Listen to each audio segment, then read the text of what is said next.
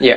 Nah, ya, uh, mungkin uh, karena aku percaya ya uh, kesuksesan itu adalah uh, gabungan antara perencanaan yang matang dan eksekusi yang baik itu ya jadi perencanaan yang matang ini aku nggak main-main nih jadi aku benar-benar memetakan uh, dari A sampai Z-nya kira-kira nanti bakal kayak gimana gitu dan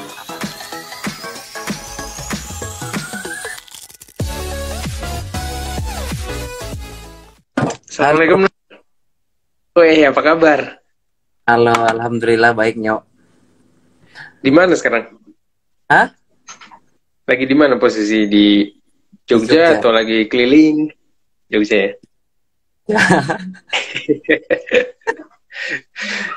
Nar, kita ngobrol-ngobrol nih. Sebelumnya terima kasih banyak udah datang dan ikut support juga. Ini banyak banget nih yang pengen uh, cari tahu informasi tentang uh, mengambil spesialisasi DV ya dermatovenerologi dan um, Danar adalah salah satu figur yang dari apa namanya Fakultas Kedokteran Kesehatan Masyarakat dan Keperawatan Universitas Gajah Mada ini sudah melalang buana nih. Nah, kita pengen mengucapkan juga kita pengen ngucapin juga nih Nar ke teman-teman yang join di sesi malam hari ini. Kita ngobrol-ngobrol santai. Jadi selamat datang di IG Live Medical Collective atau Medical Life Perdana ini seri menjadi PPDS. Jadi buat teman-teman yang memang punya interest dan minat untuk jadi dokter spesialis, kita mungkin perkenalan sedikit. Jadi Medical Collective ini sebenarnya adalah wadah yang dibentuk dari eh, sekumpulan teman-teman alumni Eh, dari Universitas Gajah Mada untuk berbagi pengetahuan tentang kesehatan, eh, kedokteran, dan hal-hal um, lain yang mungkin bermanfaat buat uh, kesehatan kita.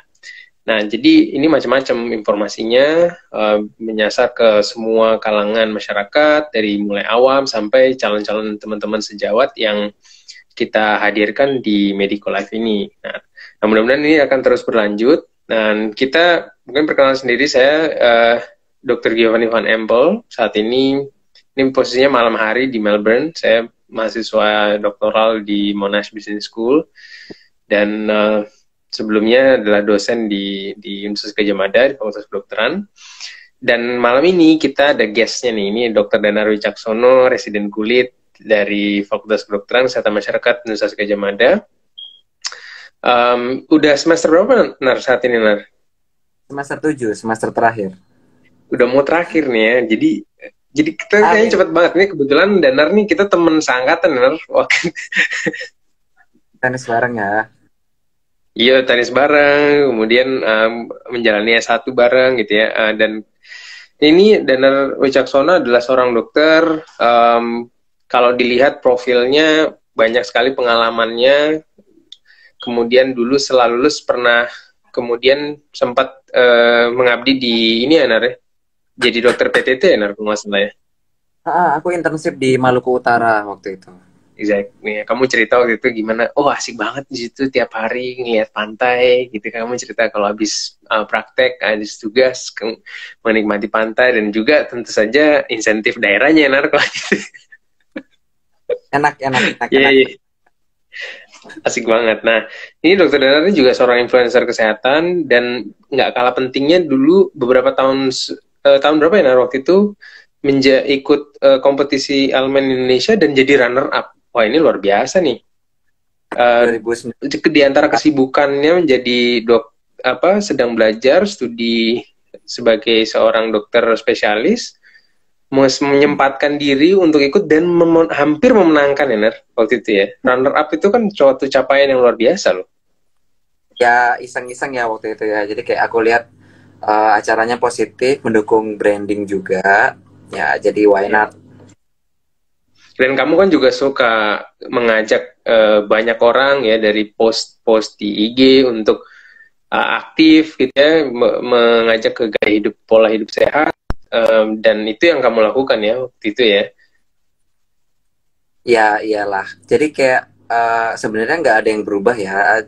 Kayak aku cuman ya cuman kayak biasa aja kayak gitu cuman ini karena di ada eventnya jadi ya sebenarnya nggak ada yang berubah sih ya cuman karena ada platform yang lebih lebih besar ya jadi aku merasa kayak ya mungkin layak dicoba kayak gitu. Yes yes. Ini kita senang banget kamu merepresentasikan teman-teman alumni, uh, teman angkatan dan juga Universitas Gajah Mada gitu untuk um, punya impact yang lebih luas lagi ke ke masyarakat luas. Nah kita pengen tanya-tanya nih kebetulan kan memang uh, tema malam ini kan pengen mengulik lah kenapa uh, mungkin beberapa pertanyaan kita sempat uh, kita sempat ke teman-teman yang apa namanya ketika memutuskan untuk uh, mengambil spesialisasi ini sebenarnya ceritanya apa sih? Hmm, Oke, okay. cerita dari awalnya ya. Jadi uh, sejak uh, sejak awal itu aku berusaha untuk mengetahui uh, di mana sih uh, kekuatan aku kayak gitu ya. Terus habis itu kelemahan aku di mana kayak gitu. Jadi aku uh, mapping, uh, sempat mapping kayak oh oke okay, kayaknya aku uh, kurang bagus bekerja dengan uh, sesuatu yang uh, life threatening kayak gitu ya, kayak uh, yang emergency, yang banyak kasus emergensinya, kayaknya aku kurang uh, kurang uh, powerful di situ. Jadi aku uh, gampang panik kayak gitu ya, gampang panik. Uh, terus habis itu uh, aku lihat uh, kekuatan aku tuh di detail ya kayaknya I put attention to detail kayak gitu jadi kayak uh, melakukan suatu hal yang kecil kecil-kecil terus habis itu memerlukan uh, apa namanya keteram uh, ketelitian kayak gitu aku merasa itu uh, aku punya power di situ nah jadi uh, melihat dari kekurangan dan kelebihan jadi aku memutuskan untuk ngambil uh, jadi awalnya uh, pertamanya dua ya pertamanya dua pilihan kayak yang pertama tuh aku pengen jadi dokter obskin pertamanya. Jadi ini cerita uh, obskin itu sebelum kamu punya uh, bayangan untuk ngambil spesialisasi kulit dulu. Mm -mm, jadi awalnya aku pengen uh, obskin atau kulit yang kedua ya. Jadi kayak hmm. kalau misalnya dari mana aku uh, berencana ngambil dokter uh, ke kebidanan dan kandungan waktu itu. Uh, terus habis itu dari minornya aku uh, mau ambil kulit kayak gitu terus habis itu setelah menimbang-nimbang tadi ke kekuatan kelemahan jadi kayak kalau misalnya kebidanan dan kandungan mungkin lebih banyak emergensinya ya jadi ya udahlah waktu itu dia terus diputuskan mengambil uh, dermatologi dan venereologi jadi uh, dan aku tuh orangnya uh, yang apa ya menurut aku seeing is believing kayak gitu jadi kalau misalnya penyakit penyakit kulit itu kan kalau misalnya kita uh, treatment atau kita kasih yeah. obat itu dia uh, perubahannya langsung uh, kentara kayak gitu loh. Jadi yeah. dengan yeah.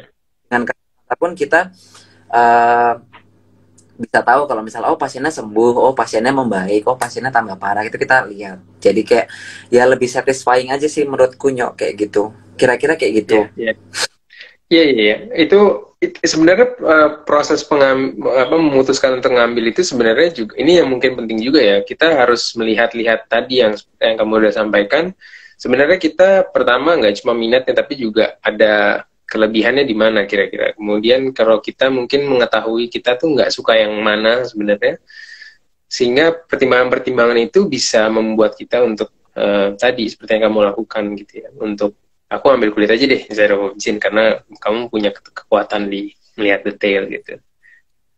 Menurut aku penting sih ya untuk uh, kita hmm. melakukan deep research dulu sebelum kita melakukan yeah. apa yang akan kita lakukan untuk waktu yang lama kayak gitu bertahun-tahun ya. Jadi kayak kalau misalnya kita memaksakan misalnya oh aku lihat uh, lihat uh, teman atau sejawat dokter kandungan misalnya oh wah gila hidupnya enak banget kayaknya tapi sebenarnya kita nggak tahu kan uh, yang kita lihat kan hanya di luarnya aja gitu yeah. proses dia jadi proses dia menjadi dokter kandungan terus habis itu gimana dia uh, kesehariannya. Kayaknya kan kita nggak tahu. Jadi penting menurut aku untuk uh, deep research dulu untuk uh, tahu kira-kira nanti apa yang akan kita lakukan selama empat uh, tahun itu tuh akan kayak gimana kayak gitu. Karena kalau misalnya enggak ya celaka juga sih itu. Kayak kamu harus terjebak di lingkungan kerja itu dan melakukan hal yang itu selama tahun tuh kalau misalnya nggak suka banget atau nggak passion ya bakal menurut aku susah ntar kayak gitu karena ya Uh, mungkin tapi pada saat kamu melakukan deep research itu um, ada nggak sempat kepikiran mungkin untuk uh, alternatif lain selain kulit misalkan? Jadi apa sih yang kamu lakukan waktu melakukan deep research itu? Apakah misalkan juga uh, selain alternatif uh, cabang spesialisasi lain kamu juga berpikir soal sekolahnya ke mana ya? Uh, ke center mana ya? Misalkan Gajah Mada atau ke mana gitu. Itu menjadi menjadi menjadi poin yang kamu pikirkan kan oh iya dong kayak gitu. Jadi uh, tadi ya uh, per pertama melakukan deep research ya. Jadi karena aku pengennya tadi off skin atau kulit ya tadi. Nah jadi selama aku apa men, mag, uh, waktu aku apa ya dulu kita waktu selesai dokter untuk mulai internship kan agak lama tuh ya nyok Hmm. Nah itu aku uh, kebetulan om aku itu dokter kandungan kayak gitu. Hmm. Jadi aku sempat ikut uh, kegiatannya lah waktu itu di Bogor waktu itu. Ya udah ikut ikut ikut ikut. Terus habis itu kerasa tuh oh uh, jam 2 malam dipanggil untuk uh, operasi emergensi. Ya kayak jam habis itu jam 2 malam nanti jam 7 pagi udah masuk lagi kayak gitu. Jadi kayak aku merasa nggak nggak nggak cocok aja dengan lifestyle yang kayak gitu. Tapi ya uh, sekali lagi kayak gitu tuh nggak berdasarkan siapa-siapa ya berdasarkan diri sendiri sih aku rasa kayak gitu. Ya udah terus habis itu akhirnya ya udahlah kayaknya nggak deh kayaknya ya udah uh, kulit lah kalau kayak gitu. Jadi waktu kulit kan uh, di kulit itu tuh nggak uh, mungkin teman-teman perlu tahu ya di sini dokter kulit itu tuh nggak hanya menangani masalah kecantikan aja. Mungkin yang di uh, pandangan teman-teman kayaknya dokter kulit tuh oh dokter kulit nih pasti nanti uh, buka klinik kecantikan segala macem lah gitu. Pasti yang ada nggak cuma pertama, itu pada padahal ya banyak sekali penyakit kulit lain sebenarnya dan pertama uh, pertama uh, pertama-tama untuk kalian gelar dokter kulit itu ada beberapa uh, sub uh, bagian ya sub bagian kayak autoimun penyakit autoimun penyakit penyakit tropis uh, kayak uh, kusta infeksi-infeksi bakteri infeksi jamur segala macam dari yang uh, bentuknya jelas sampai nggak jelas sampai ikan kayak gitu kan. Terus habis itu uh, ada penyakit penyakit alergi ada penyakit uh, penyakit uh, yang berhubungan dengan sinar matahari juga. Semuanya terus hmm. dilewati. Kalau misalnya memang teman-teman memikirkan dokter kulit uh, itu adalah dokter kecantikan atau hanya menangani masalah kecantikan atau akhirnya akan menjadi dokter kecantikan itu aku agak sakit hati sih. Karena di behind the scene-nya itu uh, justru uh, bagian-bagian tentang uh, estetik. Oh ini ada teman-teman yang ngingetin ya IMS betul. Jadi uh, infeksi menular seksual itu semuanya bagian dari Masuk. menjadi dokter kulit dan kelamin. DV. Jadi uh, uh, jadi sebenarnya kalau misalnya um, kalau misalnya kita berbicara tentang uh, estetik dan kecantikan itu merupakan salah satu kompetensi dari dokter kulit, tapi itu hanya sepersekiannya aja kayak gitu. Hmm. Kayak gitu.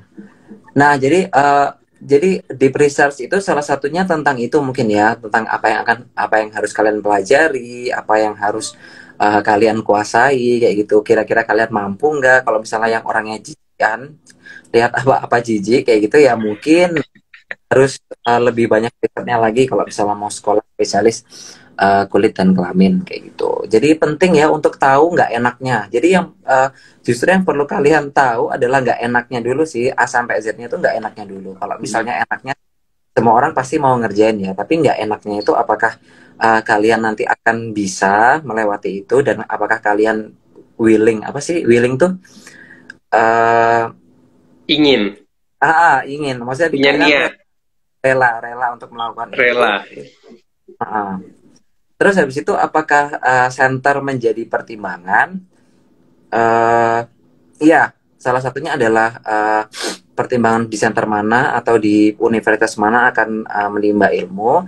Uh, karena perlu kalian tahu ya, jadi uh, uh, apa namanya uh, sekolah uh, PPDS itu, yang sekolah itu nggak hanya dokternya aja, tapi keluarganya semuanya sekolah juga. Jadi uh, kalau misalnya kalian istri punya anak ya otomatis istrinya juga ikut sekolah PPDS anaknya juga ikut sekolah PPDS orang tua mertua semuanya ikut sekolah dokter spesialis gitu menjadi satu kesatuan kayak gitu nah jadi uh, karena uh, keluarga besar itu keluar uh, di Jogja gitu ya dan kebetulan aku uh, alumninya UGM jadi uh, aku sudah dari sejak mahasiswa melakukan deep researchnya itu ya. Jadi uh, mungkin aku bisa share salah satu tips uh, adalah uh, tahu apa yang kalian inginkan dari awal kayak gitu ya. Mungkin itu akan hmm. uh, banyak gitu. Jadi sejak mahasiswa aku udah uh, melakukan uh,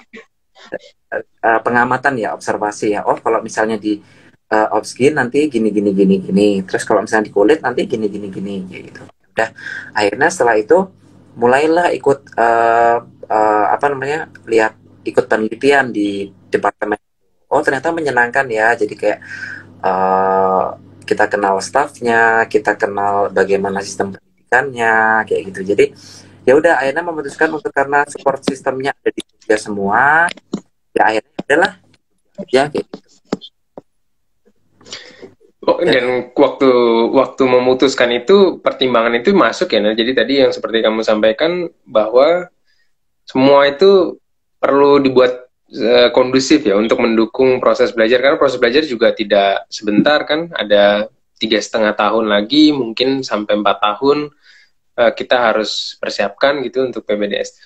Nah, mungkin bisa diceritain nggak? Tadi kan mungkin kita pengen ngulik sedikit nih soal apa sih sebenarnya yang paling nyaman gitu ya dari dari mengambil spesialisasi DV ini dan nanti mungkin baru bergeser kira-kira apa yang membuat nggak nyaman. Tadi kan cerita soal sebenarnya kulit dan uh, itu kan tidak hanya soal estetik itu kan hanya satu sub saja dari mungkin bisa ceritakan selain itu apa sih membuat uh, apa ya menjadi kalau kamu boleh promosi sekalian nih itu ambil kulit aja. Oke, mungkin kalau misalnya uh, berbicara tentang itu nanti apa ya akan nanti um, outputnya kan ya. Jadi yang jelas untuk jadi dokter kulit itu ya kalau misalnya dibandingkan dengan uh, spesialisasi lainnya itu kasus-kasus emergensinya lebih sedikit ya, lebih sedikit. Hmm. Jadi uh, probabilitas kalian akan dibangunkan di tengah malam kayak gitu untuk sesuatu hal yang emergensi itu kayaknya lebih kecil harusnya kayak gitu walaupun di uh, bidang kulit kita juga mengenal adanya kegawat daruratan pada bidang kulit kayak gitu. Nah jadi nah jadi aku tuh uh, tipe orang yang tidurnya itu harus cukup kayak gitu. Jadi kalau misalnya jadi kalau misalnya istirahatnya nggak cukup kayak gitu ya itu nanti nggak produktif besoknya. Hmm. kayak gitu. nah jadi enaknya adalah kalau misalnya jadi dokter kulit, ya aku udah uh, wawancara juga ke beberapa dokter kulit yang udah praktek gitu ya. ya jadi memang uh, probabilitas kalian dipanggil untuk kasus-kasus emergensi itu uh, lebih sedikit kayak gitu. Jadi ya, ya udah karena aku tadi orangnya uh, karena aku menerapkan pola hidup sehat itu nggak hanya olahraga ya. Jadi olahraga, istirahat, sama pola makan. Nah, jadi pola tidur ini salah satu yang justru aku kampanyekan sekarang. Karena orang-orang hmm. sekarang menganggap hidup sehat itu hanya olahraga dan makan yang sehat aja. Tapi ternyata uh, olahraga itu eh apa maksudnya uh, istirahat itu nggak kalah pentingnya. Nah itulah kenapa aku ambil spesialisasi dokter kulit. Jadi jam kerjanya jelas menurut aku. Jadi uh, tindakan-tindakannya pun uh, kebanyakan elektif ya atau direncanakan. Kayak gitu. Jadi uh, kita bisa tuh uh, kayak uh, me menjadwalkan oh hari ini aku akan uh, operasi bedah kulit. Oh hari ini aku akan melakukan tindakan laser aku akan melakukan tindakan apa. Jadi semuanya itu bisa terencana dan aku orangnya termasuk orang yang well plan ya. Jadi kayak aku lebih suka kalau misalnya uh, beberapa saat sebelumnya aku sudah tahu apa yang akan aku rencanakan kayak gitu. Apa yang akan aku kerjakan maksudnya. Ya nah, itu itu itu pilihan yang harus di ini ya kan kita bagian dari mengetahui sebenarnya kita itu sukanya apa nggak um, cocoknya di mana itu harus kita akui ya. Dan uh, menghindari hal-hal yang buat nggak nyaman itu kan sangat wajar ya. Maksudnya nggak ada masalah hmm. kalau emang nggak. Dan itu hmm. harus justru harus di kita ambil justru keputusan itu kan. Iya iya iya. Memang uh, memang kalau menurut uh, menurut aku uh, aku uh, pernah baca pernah baca beberapa buku sama ada beberapa quotes juga bahwa kesuksesan itu adalah perpaduan antara perencanaan yang baik dan eksekusi yang maksimal dan dengan doa kayak gitu. Jadi uh, perencanaan yang baik itu menurut aku termasuk salah satunya adalah tahu apa kelemahan kita, dan apa kelebihan kita tadi itu dan uh, untuk apa ya namanya kalau misalnya kita mau perang ibaratnya kita kan kayak cek ombak gitu ya nyok Iya. Yeah. Nah, ya, uh, mungkin uh, karena aku percaya ya uh, kesuksesan itu adalah uh, gabungan antara perencanaan yang matang dan eksekusi yang baik itu ya jadi perencanaan yang matang ini aku nggak main-main nih. Jadi aku benar-benar memetakan uh, dari A sampai Z-nya kira-kira nanti bakal kayak gimana gitu. Dan apakah uh, jadi semua proses itu kan painful ya. Maksudnya painful tuh painful yang uh, akhirnya membuat kita menjadi orang yang lebih baik kayak gitu. Nah jadi apakah uh, pain selama prosesnya itu masih bearable? Apakah kita bisa uh, me, apa maksudnya menanggung apa yang menang menanggung apa yang kita putuskan sebelumnya itu menurut aku penting kayak gitu. Udah ya, jadi tadi udah udah tahu ya jam kerjanya jelas kayak gitu ya walaupun kalau misalnya uh, kalau misalnya kita berbicara kebutuhan misalnya ya nah misalnya nanti kayak ada uh, manusia pasti punya kebutuhan ya nyok, nyok ya kayak misalnya yeah. uh, pasti kebutuhan utama kayak papan sandang pangan itu harus terpenuhi. Dan uh, ke, uh, mungkin salah satunya adalah uh, dengan uh, penghasilan kayak gitu. Nah mungkin kalau misalnya dilihat dari uh, penghasilan atau uh, money wise-nya dokter kulit itu nggak akan maksudnya mostly itu nggak sebanyak dokter-dokter uh, yang akan megang pisau ya. Kayak dokter ortopedi atau dokter opkin atau dokter apalah yang megang tindakan kayak gitu yang tindakannya banyak. Tapi uh, kembali lagi sih kalau misalnya menurut aku uh, kombinasi yang paling tepat untuk aku antara jam kerja sama aku harus menerapkan pola hidup sehat yang aku harus itu mutlak untuk aku kayak gitu ya hmm. antara jam kerja terus habis itu uh, lifestyle aku healthy lifestyle yang aku kerjakan sama mungkin money wise nya itu yang menurut aku uh, yang paling cocok gitu ya win-win solution semuanya adalah di dokter kulit ini kayak gitu dan itu hmm. uh, mendapatkan kesimpulannya setelah uh, melakukan deep research tadi segala macam kayak gitu. Yeah, yeah.